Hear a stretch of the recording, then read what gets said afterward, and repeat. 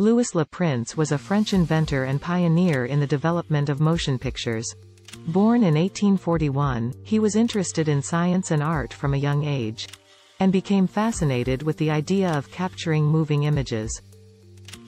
In the 1880s, he developed a single-lens motion picture camera, and in October 1888, Le Prince captured the first ever moving images. The two-second film, known as the Roundhay Garden Scene, is the oldest surviving film in existence. Le Prince's achievement was groundbreaking, but his success was short-lived. In 1890, Le Prince vanished after embarking on a trip. And his disappearance remains a mystery to this day. So who was Louis Le Prince?